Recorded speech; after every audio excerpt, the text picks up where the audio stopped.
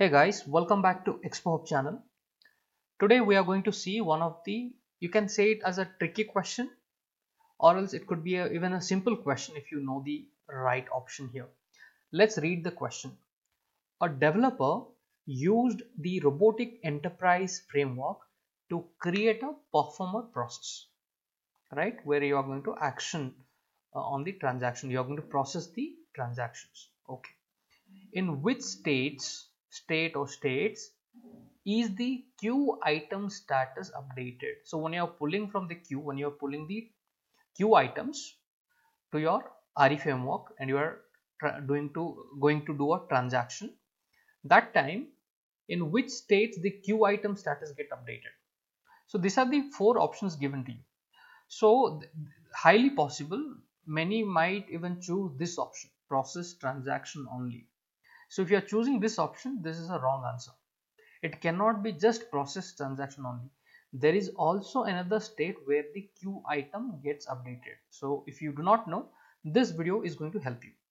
So first of all, we are going to open the RE framework. Okay. First of all, we know in the process transaction state, right? Any anytime you come in, just try to minimize everything so that it will be easy for us to understand so in the process transaction state, right, this is where you are processing the transaction. Now let me expand it. So when you are processing, you are calling in the processes process.xml file and you are processing your transaction in this workflow. Now just below this, you have something called invoke set transaction status. Okay, so this invoke set transaction status is a place which is part of your process transaction. So this answer is correct. There is also another place. So here if you open this particular workflow, okay, if you have gone through the entire uh, RE framework playlist, if not, please go through that because all this would make more sense. So here we are updating the transaction status using this activity set transaction status successful. So using this set transaction status activity, right? Using this activity, we are updating the status in the queue. Successful failed right? Business rule exception. So using this activity we do it. So this is one of the place we got to know right? Let me close it. Okay? So in the process transaction state is one of the place where we update the queue. We understood that. How about other what is the other state? Let me show you. Also in the get a transaction data. Okay? Now if you go inside the get transaction data you do not have a di direct activity called set transaction status. If you go to even to this workflow right? Let me go slow so that it will be easy. So here i am in the get transaction data.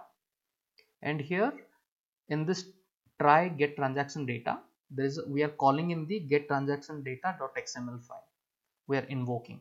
Now if you open this particular workflow you do not see a set transaction status activity. But this activity get transaction item. Okay? So this activity is responsible to update the queue. So how do i get to know whether it's updating the queue or not? So highlight this activity and read through the description box that appears when you highlight any activity right? Highlight this. So it says this activity gets an item from the queue so that you can process it.